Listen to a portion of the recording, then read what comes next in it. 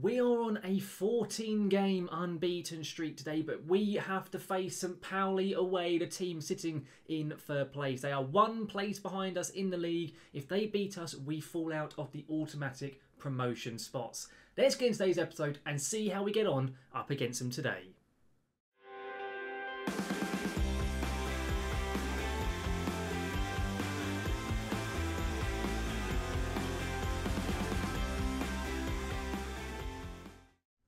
Welcome back then guys to the Red Devil Revival here with Kaiserslautern now for episode 25 of our series. I can't quite believe we're already 25 episodes in but here we are and as I've just said in the intro we are on fantastic fantastic form. 14 games now unbeaten in all competitions and we are still sitting inside those promotion spots. Now though before we get into today's episode properly guys if you did miss the previous one, there'll be a link right above me for you go back and see quite what went on when we faced first placed Darmstadt in a top of the table clash. And of course, we witnessed one hell of a bottle job. I say, use the link above me if you want to go back and watch quite what went on. And of course, before we do get going in properly in today's video, if you do enjoy today's episode, guys, please do go and chuck a like down onto it. As I always say, every like on the channel matter does help the channel itself out. And of course, if you're looking forward to seeing any more of my content, such as my FM21 tactics videos, the latest which should have gone live earlier on in the week, guys, then do make sure to hit that subscribe button and ring that notification bell to be notified when any of my content here on YouTube goes live. Now then, no, let's get into this episode here today. We've only played two matches since last time out, and we've got a win and a draw. Of course, in the previous episode, we had two draws. Disappointing, all things considered, mainly because of the fact we completely bottled the Darmstadt game and then we had a completely drab fixture up against Dusseldorf. We then, though, played Erdingen, who were, I want to say, 16th or 17th in the league, away from home, and we smashed them 3 0. A brace from Mulattieri and a goal from Pellegrini. We then, though, took on the relegated side in Hamburg, who got relegated from the Bundesliga last season. And it was a very even game. We didn't really create anything, neither did they. It finished nil nil. It was a fair result, all things considered. And as a result of that, we are sitting in second place. We are six points behind Darmstadt after those drop points in the previous episode. Not annoyed about that whatsoever. And of course, we are first of all today taking on St. Pauli. We then have to face Braunschweig, who are really, really struggling. They got promoted last year from the Dry Liga, and hopefully that should be an easy win. But we'll have to wait and see. But St. Pauli is most definitely the main focus of our attention today. We lose that, they leapfrog us, and they get into the automatic promotion spot. In terms, though, of how we're lining up for this game, first of all. It's a pretty strong squad, all things considered. Krapikas in net, Hubner, Ramos, and Nielsen starting at the back. Nielsen's finally back fit today. Butson at right back, Hercher at left back. It's then Barrero in as the defensive midfielder. Salas and Maria are starting the centre of midfield. Salas, for some reason, gets lots and lots of yellow cards despite being an advanced playmaker. I don't quite understand it. He's on course for now, I think, 10 yellow cards. We've only played 13 times in the league. I don't quite understand quite what he's up to. It's then Pellegrini and Mulattieri, though, starting up front. I am really liking how the tactic is getting on, despite the fact there are a few draws creeping in. We're still playing really well. To be unbeaten in 14 games says a lot, really, about how well the tactic itself is working. But let's get into this game here, and let's see how we do. It's a massive fixture in the context of the league and the promotion race. We win it, we go four points clear, or five points clear, actually, no, even, of St. Pauli. It's a big, big game. I be honest, I think it will finish as a draw. I will be surprised if we can beat them, but if we can do that would be bloody fantastic. St. Pauli's lineup is a 4-3-3 with three strikers. Interesting one. there. Of course, they have Tim Rieder, our former player, on their bench. So be interesting if he gets any games. Our recent form, of course, I'm saying we are 14 unbeaten. We have only won two in our last five, which doesn't make it sound quite as good. But considering some of the teams we've played, we've played Dusseldorf, Hamburg, and Darmstadt, which were the games which finished as draws. So you know, we're beating the teams which are lower down the league. We're, we're drawing with the teams in and around our position. You think of those types of results. That is promotion contention. That is promotion form, realistically. You know, it's not bad at the end of the day. Mulattieri, an early chance there. I wasn't really even paying much attention. I thought that Salas pass was never reaching anyone. And Mulattieri nearly snuck it in at the near post. Not quite sure how he managed it. Of course, guys, in case you weren't aware, I have actually released this tactic, the 5-3-2 defensive midfielder, on the channel. And oh, Pellegrini. He should have scored that. I thought he had done. Oh, dear me. But as I was saying, this tactic is now available for you to download. If you want to use it, you, there is a link in the description for the Steam Workshop page, and that will probably be in every foreseeable episode that as long as we are using this tactic. And there is also the new video on the channel as well, explaining about how it quite works. We were lucky that we didn't just concede, I'll just point out, because the. Pauli player, Divkovic, I think it was, should have scored. He was one on one and he completely balls that up. But oh well, not the end of the world. One thing I will also mention oh, okay, we nearly conceded. Okay, there, lads, just, just you know, settle down, lads, settle down. Flipping, I'm going to demand more from them. I was going to say, though, that we have had our next round draw in the Cup has been decided, and we've got Borussia Mönchengladbach or Mönchengladbach, however you pronounce it at home. So yeah, I'll be honest, I'm not particularly confident about getting any further. I think it's the third round. I don't think it's the quarterfinal. I think it's the last 16, and that'll probably be what next episode is. But uh, yeah, it's going to be quite painful. That I don't think it's until January. But yeah, it's going to be a, a tough old game that one, I reckon. Hang on, what's happening here? Himmelmann, is he getting there? He okay, he is. He just took his time to pick the ball up. I wondered if the keeper was going to balls it up. We recently had in the stream with Norwich City we had a bit of a cock up by one of the goalkeepers where he just left the ball in the Europa League. I've got no idea why. Salas here though to Butson. Come on, Niels, you're getting it in the box. Come on, what's he going to do with it? He it's gone to Salas. Come on, put it across. He has done Moria to Butson. Come on, we've broken the deadlock. Fantastic goal. Niels Butson scores on his weaker left. I don't quite know why he was so far forward and in the centre of the box, but I do not care. A goal is a goal, no matter who scores it chuffed with that. And okay, there's a highlight straight away. Oh no. Please don't get an instant reply, St. Pauli. Please. Oh no. Oh no. Well, this this is going to be fun. This, oh, I thought Butts was going to then. Okay, it's not been nicked. Okay, Benatelli, Daschner. Okay, over to Olsen, the right back for St. Pauli. He puts it in way too much space for Dia. How he does not score, then I do not know. He had a free header and that was really bad defending from us and a bad effort from their player. We were very lucky then that St. Pauli did not capitalise on our horrendous defending. I don't know where on earth Butson was. He should have been marking him there. And why did Maria just run it off the pitch? Oh, Pelayo, what are you playing at, son? Even so, we've managed to somehow get in at half time at 1 0 up. I don't think we deserve to be, to be completely honest. But I'm going to say don't get complacent. And I'm looking at the team. And I'm going to sub off Barreiro for Erhardt. He's not having a great game. We're going to make that swap. Only changes the personnel. Nothing tactical is being swapped with that decision there.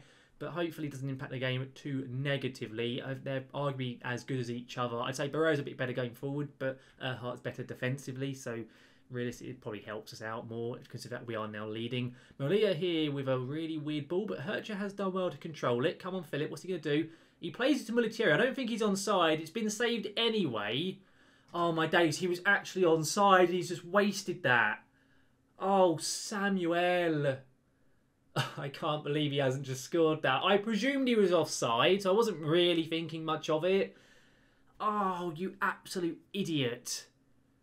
Oh, now there's a highlight straight after that as well. How much we want to bet it's going to be a St. Pauli goal? You just know. You just know after missing a chance like that, he's going to come back and completely bite us. But hang on, Maria here. Are we going to get a chance to counter attack? Playing Pellegrini. Oh, we should have played him earlier. Well, we got lucky. It's fallen to Mulattieri. He's got to score this time. He does, and he's actually counting. We are 2 0 up.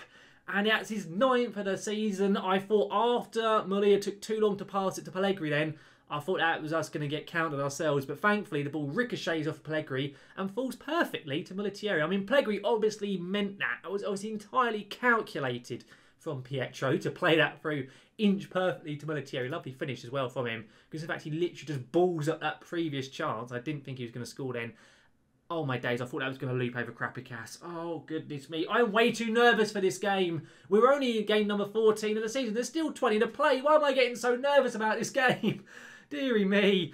Buchtmann here to Daschner, back to Buchtmann, who I think is a centre back or defence midfielder. I don't know why he's quite so far out the pitch, but here he is. Lawrence now. I don't know who this Lawrence player is. He sounds English with a name like Lawrence, but Okay, over to Lawrence again here, who plays it to Noel, who I guess he must be the new right back. He must have made a substitution to Paddy. I wasn't really paying attention.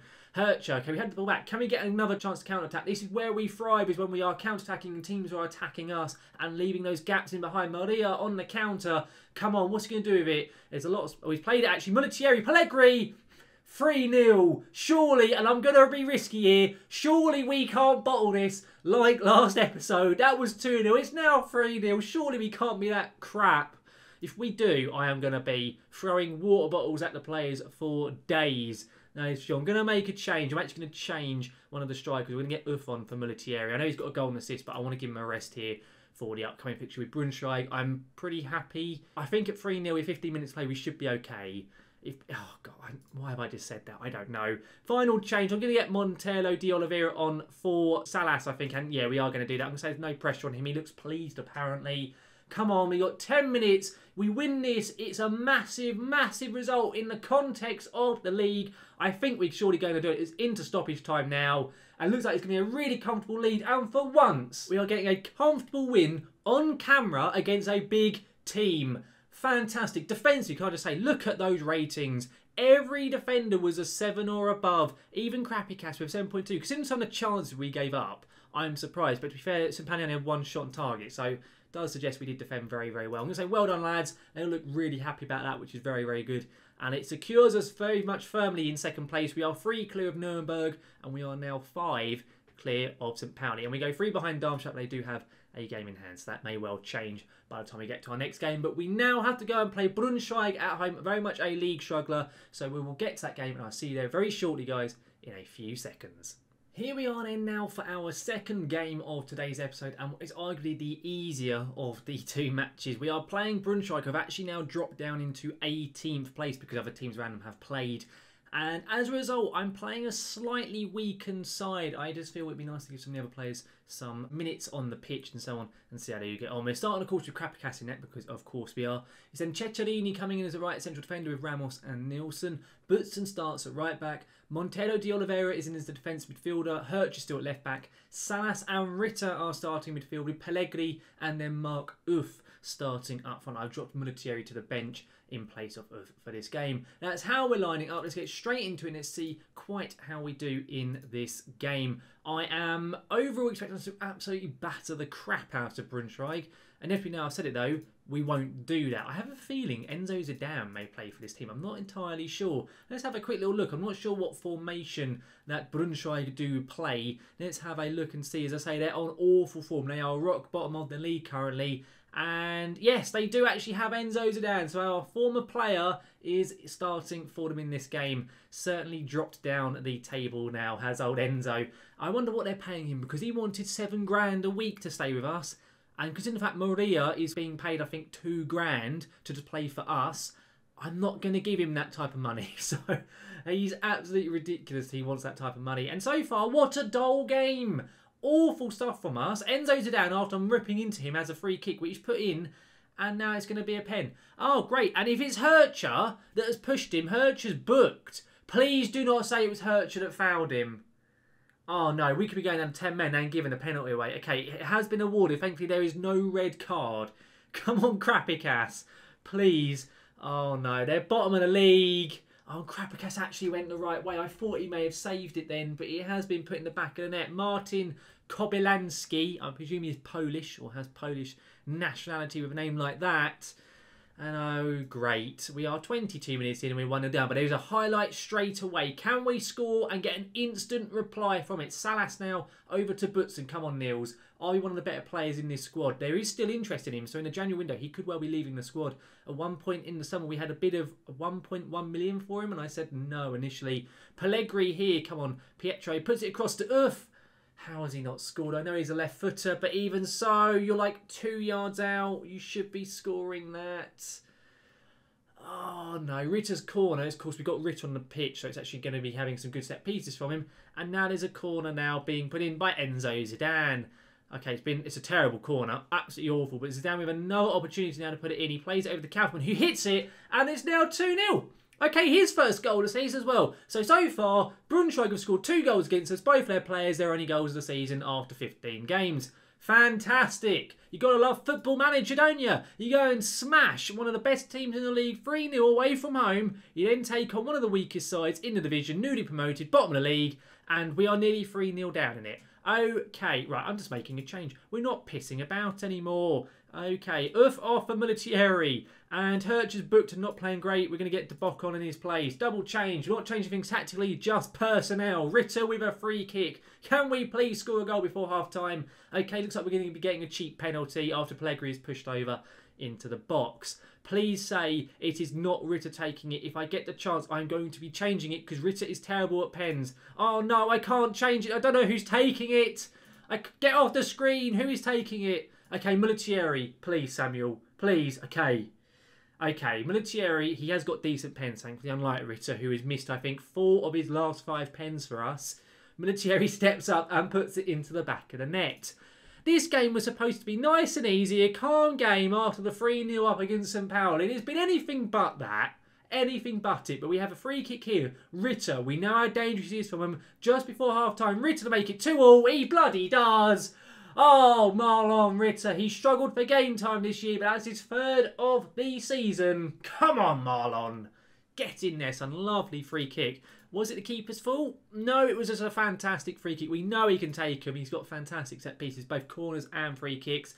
What a turnaround. 2 0 down, and thankfully it's 2 all as we go into half time. Realistically, though, we could have been 3 0 down at one point, so you know, we're a bit lucky. But even so, even so, I'm still going to get angry at him and say it's not good enough because it just isn't. It's not good enough whatsoever. Apparently, Ceccherini is nervous. How is a 30 year old Italian centre back who played for teams like Fiorentina now at Kaiserslautern nervous in a game up against bottom of the league? I've got no idea. He's played in Serie A for goodness sake. He's like, oh, I'm a bit worried now. I presume there must have been an injury and the Bock just didn't do an absolutely crap throwing then. Otherwise, that was FM at its worst with the throw-ins then. the Bock, good tackle, lums it up. Mulattieri, come on, let's count, let's go, let's go. Mulattieri, come on, son. Hit it. He's gone for it. That is dreadful. Oh, Samuel, that was so bad. The highlights carrying on, though. Is this actually a proper... No, no, no, no, no, no, no. Not Enzo's down, please. Anyone but Enzo. I was absolutely tearing him a new one at the beginning of this game. He is not allowed to score. Okay, he's just isn't. It. Oh, oh no. Ritter, great challenge. De Oliveira up to Mulattieri, can't play it. Oh, he's taking way too long. Pellegrini though, it's it's a very long highlight. It's a very long highlight. De Bock here, he puts it in. Pellegrini, who just about puts it wide. It wasn't a great header, all things considered, but even so, not bad. At least we're looking like we're still trying at the moment. I'm going to do demand more.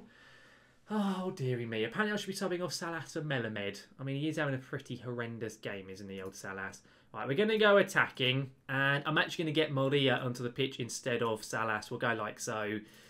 Oh, guys, please, can we do something in this second half? We had a fantastic end to the first one, and we've done very little since. We've had an XG of two. Oh, no. Okay, right. Next next thing to do, we're going to make the wing-backs go more attacking. Okay, we're going to put Maria onto an attack, advanced playmaker onto attack role as well. I'm actually going to swap Maria and Ritter over. I think that's probably a better idea. And let's just see what we can do. Oh, can we please not drop points? They're bottom of the bloody league! Guys, anything at all? No, we are not going to see anything at... Oh, God. oh, this team does my nutting.